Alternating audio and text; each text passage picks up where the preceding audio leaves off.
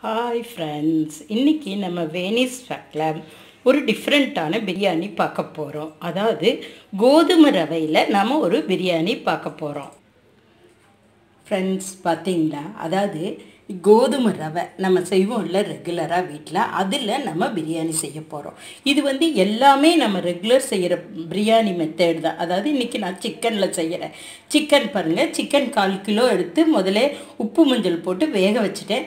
கால் kilo கோதுமை ரவை. இதில் ஒரே ரெண்டே ரெண்டு விஷயம் மட்டும் மாறுதலாக வருதுன்னா தேங்காய் பால் வேகிறதுக்கு எடுத்துக்கிறோம். அவ்வளோதான் வேற ஒன்றும் இல்லை இது வந்து கன்னியாகுமரி சைடு ஃபேமஸ் கல்யாண வீடுகள்லையே செய்வாங்கன்னு என்னோடய ஃப்ரெண்ட்ஸ் சொல்லியிருக்காங்க. அவங்ககிட்ட கேட்டு தான் அதே மாதிரி மெத்தேடு நான் செஞ்சுருக்கிறேன். அதாவது இப்போ பார்த்தீங்களா நம்ம எப்பவும் போடும்ல அதுலேருந்து ஒரு சின்ன மாறுதல். அதாவது ஒரு வெங்காயம் த இந்த சைஸ் எடுத்திருக்கேன் தக்காளி பூ மசால் பாருங்கள் பூண்டு இஞ்சி காஞ்ச மிளகாத்தூள் கரம் மசாலா கொஞ்சம் கொத்தமல்லி தூள் சீரகத்தூள் சோம்பு. இதை காஞ்ச இது எல்லாத்தையும் போட்டு நான் அரைச்சி இப்படி ஒரு விழுதாக வச்சுட்டேன். ரெண்டே ரெண்டு ஏலக்காய் போட்டு நம்ம தாளிதம் பண்ணி புதினா போட்டு இந்த சிக்கன் போட்டு நம்ம இப்போ வந்து நம்ம ஒரு டம்ளருக்கு ரெண்டு டம்ளர் கோதுமை ரவைக்கு எடுப்போம். கோதுமை ரவை கொஞ்சம் தண்ணி அதிகம் பிடிக்குங்கிறதுனால கொஞ்சம் நம்ம அதிகம் எடுத்துக்கணும் ஒரு அரை டம்ளர் எடுத்துக்கணும். இப்போ வந்து நான் வந்து மொத்தம் வந்து ஒன்றரை டம்ளர் ரவைக்கு மூணு டம்ளர் கணக்குக்கு ரெண்டு டம்ளர் தேங்காய் பால் ஒரு டம்ளர் அந்த மட்டன் வேக வச்ச தண்ணி எடுத்திருக்கேன். பத்துலேங்கிற பட்சத்தில் ஒரு அரை டம்ளர் சுடு தண்ணி ஊற்றிக்கலாம் இது வந்து எப்போ மாதிரி நம்ம பிரியாணி செய்கிறதே தான். அரிசிக்கு பதிலாக கோதுமை ரவை. தேங்காய் பால் கொஞ்சம் ஆட் பண்ணுறோம் இந்த பிரியாணி மெத்தேடு அங்கே வந்து எல்லோரும் செய்கிற மாதிரி வெங்காயம் தக்காளி அறுத்து தாளிப்பாங்க. நான் வந்து இன்னைக்கு அந்த ம மசாலா அவ்வளவு அரைச்சி விழுதா இன்னைக்கு தாளிக்க போகிறேன் வாங்க தாளிக்கலாம்.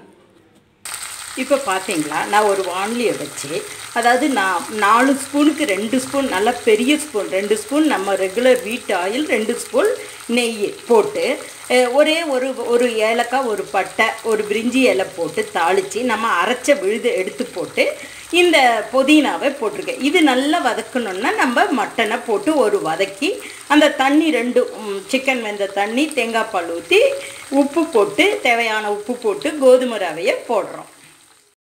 ஃப்ரெண்ட்ஸ் இப்போ பார்த்தீங்களா நம்ம மசால் போட்டு நல்லா தாளிதம் பண்ணி அந்த சி வெந்த சிக்கனையும் போட்டு நல்லா போட்டு உப்பு போட்டு தேங்காய் பால் ஊற்றி அந்த மட்டன் வெந்த சாரி சிக்கன் வெந்த தண்ணியும் போட்டு நான் போட்டிருக்கிறேன். இது வந்து ஒரே கொதி வந்தோன்னா நம்ம கோதுமையை போட்டுடணும் ஏன்னா தேங்காய் பால் இருக்கிறதுனால பிரித்து போகிறதுக்கு வாய்ப்பு இருக்குது. இப்போது நம்ம கோதுமை ரவையை போட்டு நான் ரெண்டு கிளறு கிளறி மூடி வச்சோம்னா ஒரு புழுங்குன மாதிரி ரெடி ஆயிரும். இப்போ பார்த்தீங்களா நான் கோதுமை ரவையை போட்டுட்டேன். நல்லா போட்டு கால் கிலோ ரவை போட்டு அதுக்கு தேவையான உப்பெல்லாம் செக் பண்ணிட்டு இதுக்கு கருவேப்பிலை கொத்துறதுல கண்டிப்பாக வேண்டாம். ஏன்னா நம்ம கோதுமை இந்த புதினா போட்டிருக்க அந்த மனமே போதும். தேவைப்படுறவங்க இன்னும் ஒரு ஸ்பூன் நெய் விட்டா ரொம்ப நல்லா இருக்கும். அதே போல் கடைசியாக இறக்குறப்போ ஒரு ரெண்டு செட் எலுமிச்சம்பழம் போட்டிங்கன்னா ரொம்ப டேஸ்ட்டாக இருக்கும். இப்போ இதை நம்ம மூடி வைக்கலாம் வேகிறதுக்கு. பார்த்தீங்களா ஃப்ரெண்ட்ஸ் சா கோதுமை பிரியாணி ரெடி ஆயிடுச்சு. நான் கடைசியாக வந்து ஒரு ஸ்பூன் நெய் விட்டு ஒரு ஒரு நாலு சொட்டு எலுமிச்சம்பழம் விட்டு அதிகம் வேண்டாம். நம்ம தக்காளி ஒன்று போட்டிருக்கிறோம். கோ இப்போ ரைஸுக்கு மாதிரி அது தே ரொம்ப அதிகம் தேவையில்லை. கோதுமை ரவை சாஃப்டாக இருக்குது இல்லைங்களா?